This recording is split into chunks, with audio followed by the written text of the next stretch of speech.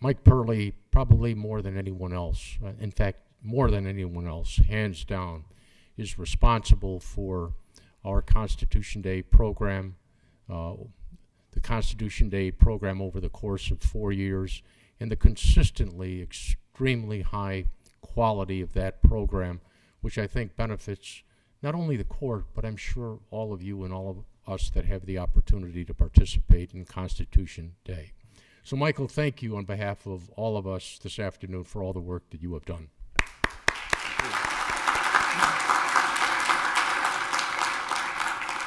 I'll take the opportunity to explain to you what really goes into putting this program together uh, when we uh, wrap things up at lunch. But, Your Honor, Judge Skretny, thank you very much for the kind words, and may it please the court and honorable judges and guests. Uh, it's my distinct pleasure today to introduce Anthony O'Rourke. Professor at the UB Law School. When you put a program like this together, one of the things you hope to find is somebody that can, can take this topic and really understand it and be able to communicate it. And one of the ways that people can do that, and one of the ways that Professor O'Rourke has done it, is to have a career that has involved him uh, both as a lawyer after graduating from the prestigious Columbia Law School. He was a practicing attorney. He also became a law clerk, not only to a district court judge, but to a circuit court judge, a circuit court of appeals judge, where it was his responsibility to assist the court in determining issues and resolving issues and seeing both sides of the story. But when you come to a, a program like today where we talk about assembly and protest, uh, I was fortunate to find out that Professor O'Rourke, and this is not in his biography, but has participated in these protests. So if there were one person that I could have selected in the city of Buffalo to give you the best perspective on constitutional issues that are presented before us today, it would have been Professor O'Rourke, and it is my pleasure to introduce him now. Thank you, uh, Mr. Purley, for that wonderful introduction, and especially for all of your work uh, hosting and organizing this, uh, this program today. And I also want to thank Mr. Coppola for sharing uh, those powerful images of individual conflicts that he has witnessed between protesters and law enforcement officers in Attica, in prison, on college campuses, that have given rise to real social, political, and I'm going to argue today, constitutional change. Now I'm going to say another uh, few names that might also evoke powerful images for some of you. Uh, these names are Eric Garner, Michael Brown, Freddie Gray, Sandra Bland, Philando Castile, Alton Sterling, Trayvon Martin, if you've heard of any of these names, if they evoke any feelings in you, maybe fear, maybe a sense of injustice, maybe anger, it is probably thanks to ordinary citizens exercising their constitutional right to protest. These protests have taken many forms. You may have read activists reporting on Twitter from the front lines in places like Ferguson, Missouri, and Baton Rouge. You may have seen people marching in the streets in your neighborhood to protest police brutality. Maybe some of you have even marched yourselves. You may have seen Colin Kaepernick take a knee during the national anthem. Maybe you disagreed with his choice. Maybe you didn't. Either way, you probably listened to what he had to say about his perceptions of police violence in this country. These protesters, including perhaps you, might not agree on what should be done to address the problems of police violence, but they have organized very effectively around a common theme Black Lives Matter. Today, I want to talk about how the Black Lives Matter movement connects to the Constitution. What does it have to do with the Constitution? I want to talk about how the Constitution shapes movements like Black Lives Matter, but I also want to talk about how movements like Black Lives Matter shape the Constitution. And this second question is the one I want to focus on how protesters, including protesters your age, are shaping the Constitution. I'm going to argue that the right to protest is what enables students like you to make the Constitution a stronger, more vital, better reflection of the values that make our country worth celebrating. Of course, um, as Judge Scott uh, helped lucidly described, the United States Supreme Court has the power to shape the Constitution's meanings with decisions like Brown versus Board of Education, but the right to protest is the instrument by which you can make sure the Constitution's promises are realized. And I'm going to make this argument by talking about constitutional law, uh, but also by sharing one of my experiences as a protester, marching in New York City in response to the death of Eric Garner, who, for those of you who don't, don't know, was killed by the police while he was being arrested on the street for selling loose cigarettes. I want to use this experience to help build an argument about how protesters are helping to reshape our understanding of the Constitution, and particularly of what the Constitution says about policing and racial profiling. But before I do this, I want to take a moment to thank um, both ABOTA and the Robert H. Jackson Center for co hosting this event, and especially to thank Judge Skretny um, for sharing some of his experiences of protests uh, in law school, and also for hosting us in open court to talk about these issues. It is a testament to Judge Skretny's commitment to the Constitution and to this program that he had just one substantive suggestion with respect to the speech, and that is that you leave the courtroom today knowing what your rights are if you decide to engage in protest.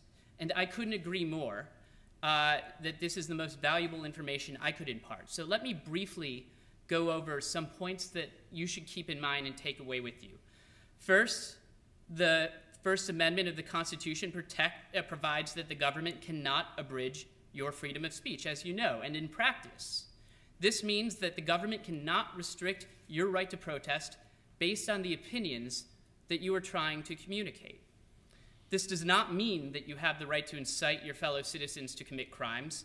Uh, the Supreme Court has said in Brandenburg v. Ohio that the government may restrict public speech that is, and here I quote, directed to inciting or producing imminent lawless action and is likely to incite or produce such action. That means that your protest may cross a line if you are actively encouraging others to violate the law. If you are encouraging other audience members to single someone out and harm them, the police may step in. But they may not step in because they dislike your opinion. And I'm going to come back to this aspect of the free exercise clause. The First Amendment's viewpoint neutrality, as lawyers call it, in just a moment. Second, the First Amendment gives you the right to peacefully assemble. That means that you have the power to organize together and protest in streets, public parks, and other places known in the case law as traditional public forums. For some large protests, the government may require organizers to apply for permits. But the government may not deny a permit be simply because it dislikes the protester's message. And even if you don't have a permit, you may still march on sidewalks and conduct a protest that does not interfere with the day to day activities of your fellow citizens without being arrested. Of course, police may patrol a march to ensure public safety. You uh, may be stopped by a police officer. So if you are, during a protest, you should stay calm, you should be respectful, you should not resist or run away, but you are entitled to respectfully point out that the First Amendment protects your right to peacefully protest. You may also ask the officer if you are free to leave. And if the officer says yes, that means you are not under arrest, and you can calmly and quietly walk away. If you are arrested, you may ask the officer why you are being arrested, but otherwise, it is a good idea to remain silent Memorize a phone number of someone you want to call, ideally a lawyer, but otherwise someone who you can rely on to uh, answer the phone and get in touch with the lawyer on your behalf. Maybe even write the number down on your hand using indelible marker. For more information, check out the ACLU's webpage on the rights of protesters. It's a great summary of your constitutional protections, and it was helpful to me in summarizing those protections to you today.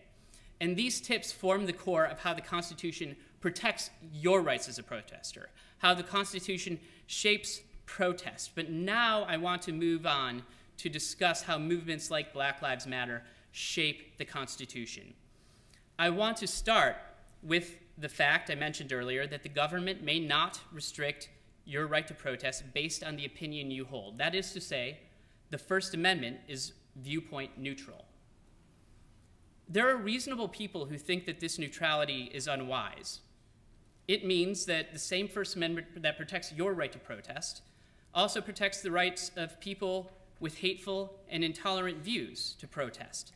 That case I mentioned earlier, Brandenburg v. Ohio, in that case, the Supreme Court held that the First Amendment protected the KKK's right to hold a rally at which protesters burned a cross and shouted horrifying racial slurs about African Americans, Jews, and other minorities.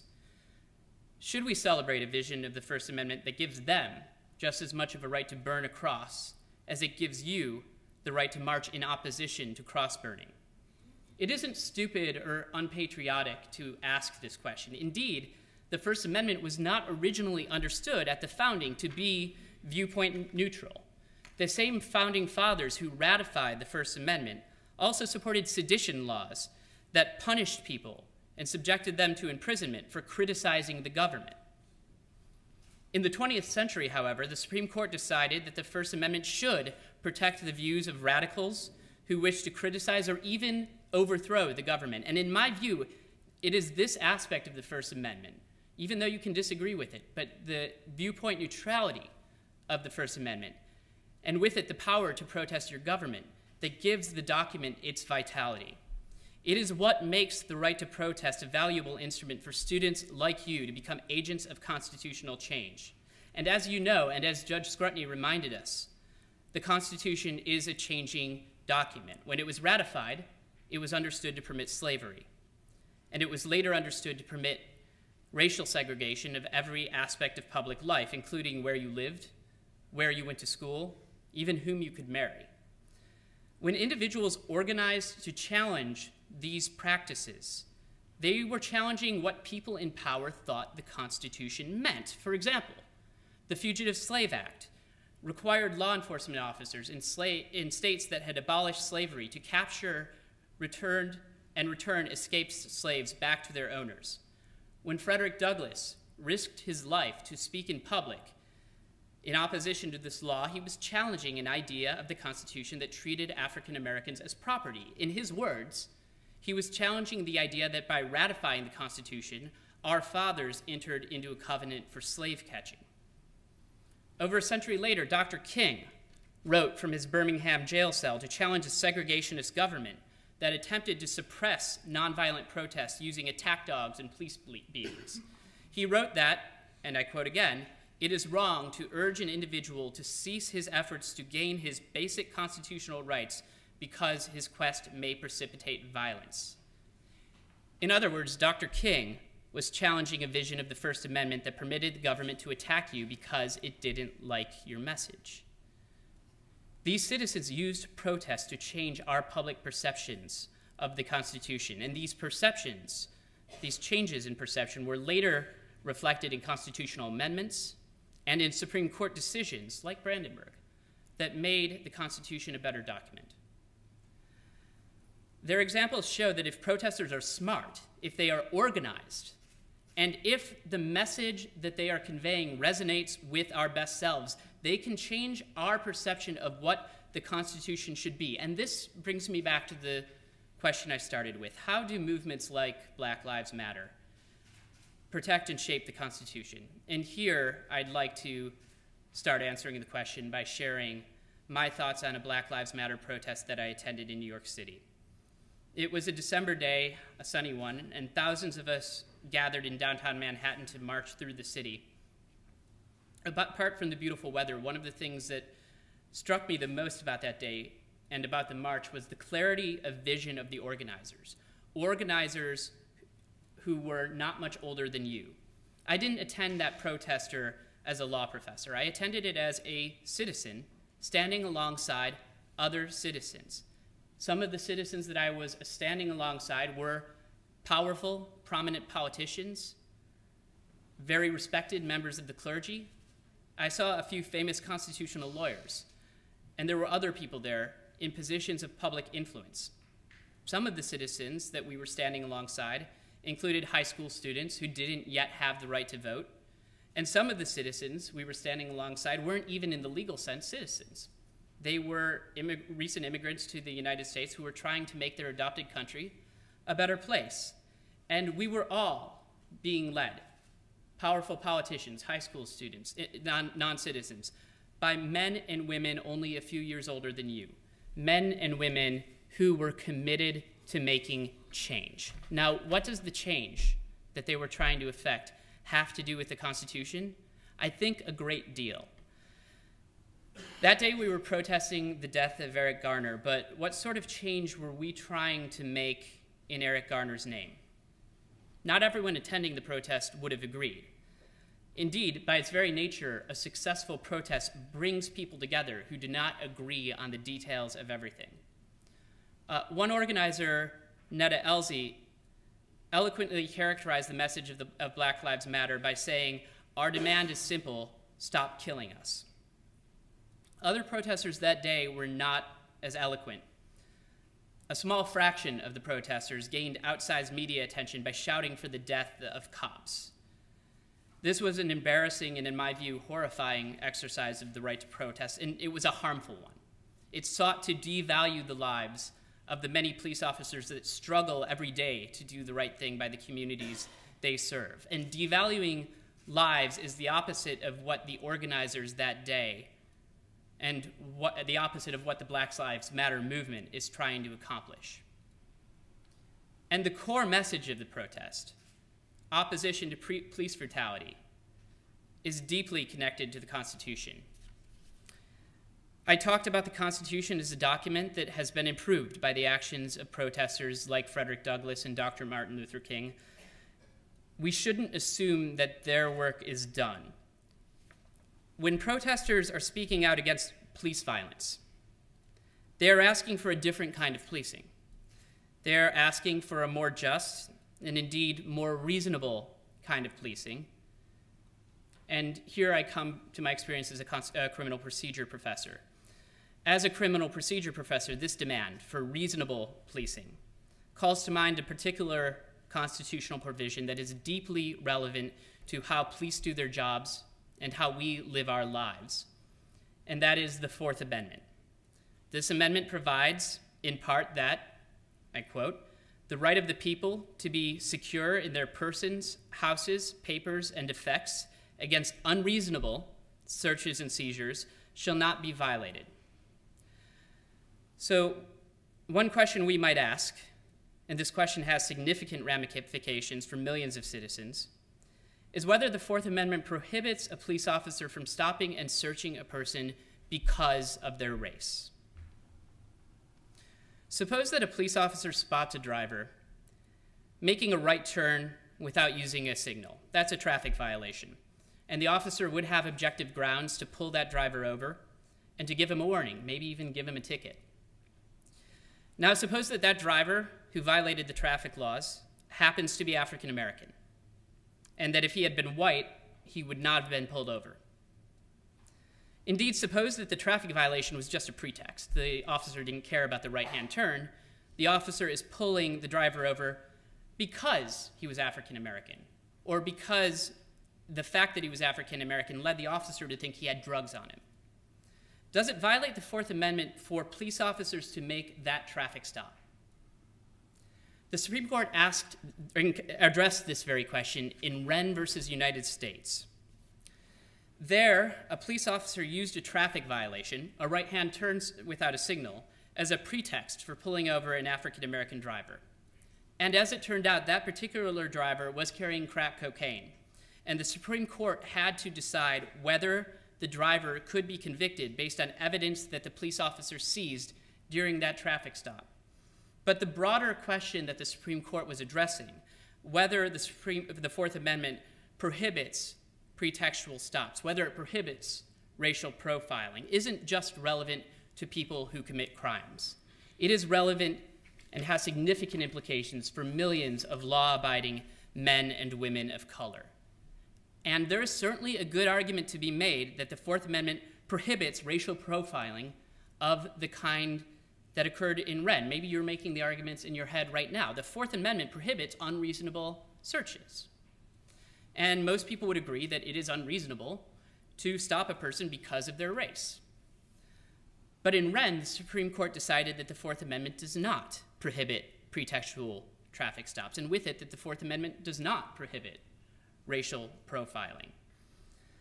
According to the court, the Fourth Amendment does not give judges license to inquire into the subjective motivations of police officers conducting a stop. The relevant question under the Fourth Amendment, according to the Supreme Court, is whether, as an objective matter, the police officer has probable cause to make a stop. So, if a driver makes a right hand turn without using a signal, the police officer objectively has probable cause to stop that driver for a traffic violation.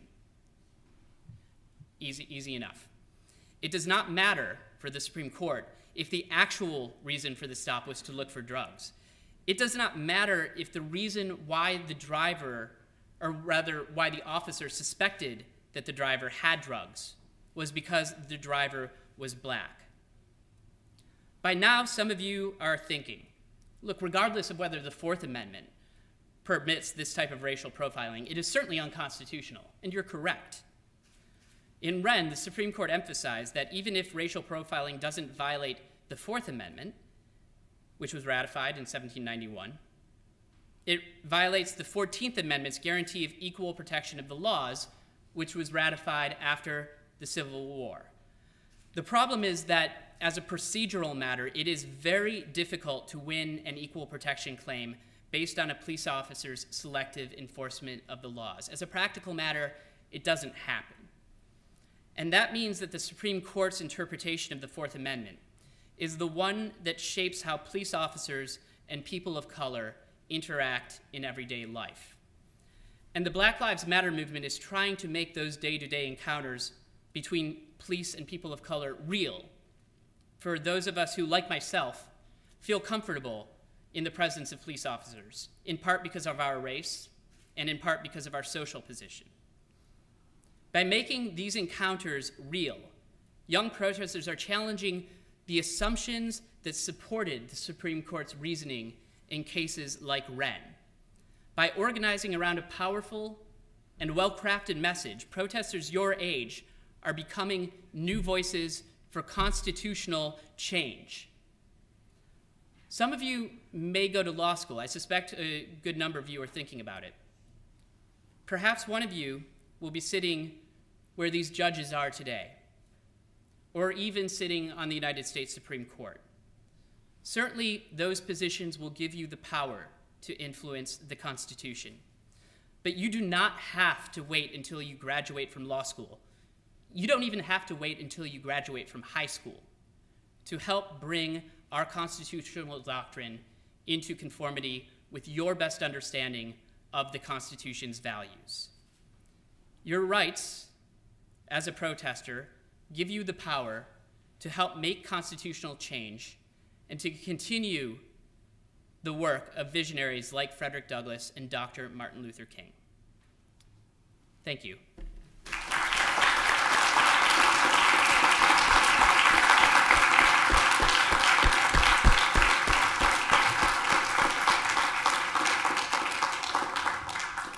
Thank you very much, Professor O'Rourke. Uh, I mean, it goes without saying, and, and I'm, I'm sure